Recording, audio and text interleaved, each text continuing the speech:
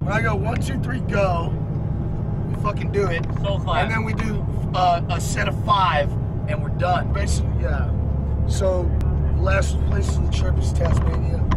We just did our last demo, and uh, we only have one day left until we go back home. The trip's almost over, and I don't know. It's been a, it's been a great trip, right, boys? Been a fun one. It's fun trip, memorable, and uh, you know what? I think this is the time for maybe you know the anthem. So on count three, boys, ready?